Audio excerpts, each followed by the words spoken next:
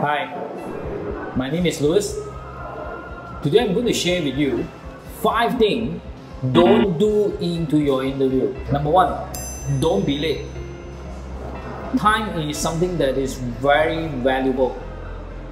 And time also is proof your commitment into the job. If you are late, that means you are demonstrate low commitment and you are wasting other people valuable time. Number two, sell your story well. When it come to interview, when you have a time to introduce yourself, most of the time people will introduce that my name is what what what, I'm working in this company, and what is my job, I'm doing a collections, I need to see a customer. Now, this is very common. People don't like to hear about what you are doing, but people like to hear what you have achieved. That is two different things. Okay? Sell your story well, draft your story, what you have achieved, not what you have been doing.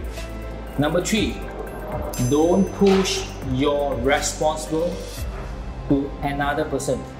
You see, in the very common in during the interview, the boss will ask you what you have achieved into your project, what is the failure into your project. Now, many people will start off with, I do not have enough resources. I don't have enough capital.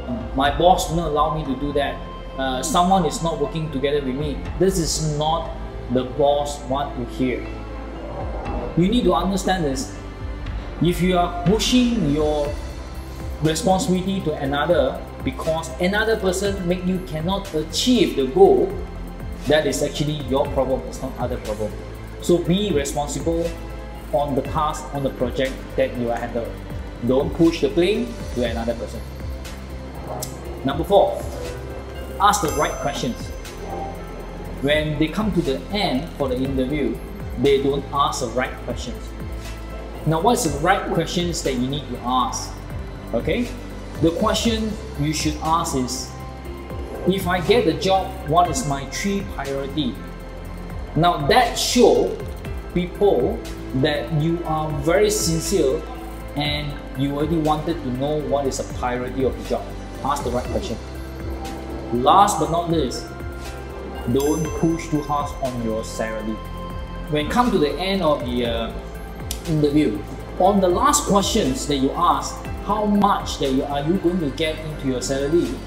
Once you asking this question, you are actually destroy whatever that you talk at the front part. People want to know that you are sincere come to work, not only focusing on salary. I hope these five common things can help you improve into your interview. Yeah.